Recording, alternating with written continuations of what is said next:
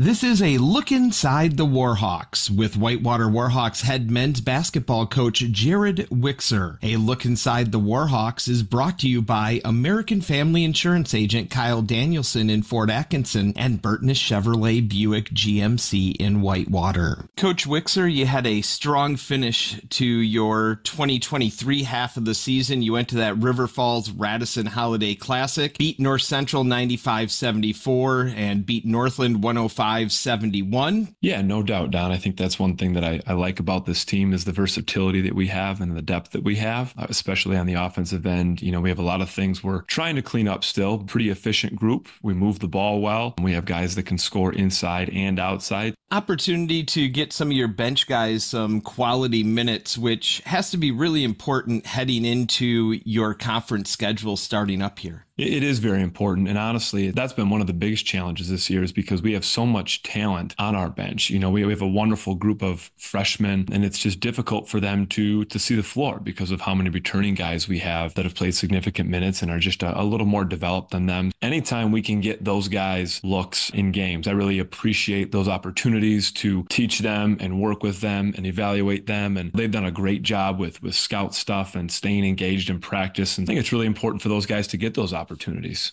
You just talked about a lot of your bench strength, but I kind of want to turn the focus to a new face, but one that has been in your starting lineup for every game. James Kelly, guy who played some JUCO basketball, played some D2 basketball at a couple of different places, and now the Milwaukee product that went to St. John's Northwestern Military Academy decided, I guess, to play a little bit closer to home and come join the Warhawks. What does he bring to this team? James is a, is a wonderful young man, and that's a funny story, kind of how you went through his journey. Because I joke with James a lot that I've had to recruit him for about four years now. I mean, I recruited him out of high school, and then uh, after JUCO, and then once we found out he was going to be transferring, we just, you know, we stayed in touch throughout. We've always had a, a great relationship, so I'm really glad that that we have James for this season. As I said to start, he's a wonderful young man, and he's one of those guys that I was talking about early on that brings a lot of versatility. He's strong, he's got good size, he's athletic, and he's skilled and quick enough to put it down from the perimeter. He's a guy that I'm really excited heading into conference play. I'm excited to see what, what he's going to be capable of because I think we're, we're going to have a lot. You know, our league is very good, as you know, and a lot of teams are going to be big and physical. And I think James can present some matchup problems for opponents. You know, do they try to go a little more big and physical with him and he's able to move around a little better and get by guys, or they try to put a smaller guy on him to guard him from the perimeter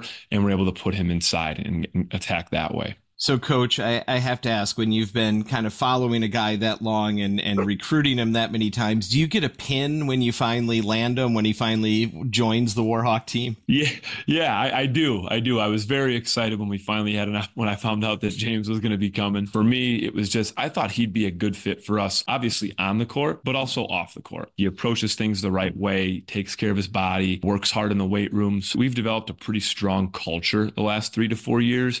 And I thought James James would not only fit with that, but I thought he would enhance that as well for transparency for folks out there, we record these on Wednesday morning. So you have Oshkosh coming up, but then on Saturday, we'll focus on the Eau Claire game, your second conference game. What do you need to do to pull out a couple of wins or a, a big win against Eau Claire? Both of the opponents this week are tough, as like I said earlier, is, is everyone else in our league. But anytime we're, we're at home down, we really put an emphasis on defending our home court. You know, we have to make sure that when we're playing at the Williams Center inside Kachel Gymnasium, that we're taking care of business. Both teams this week, ironically enough, they really, really shoot the ball well from three. And so that is going to be our, our emphasis and our key throughout the week. They get to those shots differently. Claire runs a lot of spread, ball screen action, really try and space the floor. And they've got four to five guys on the floor all the time that can shoot it from three. For us, like I talked about earlier, we're, we're pretty efficient offensively. You know, we just want to make sure we're trying to drive down three point attempts for our opponents and try and make them beat us from two.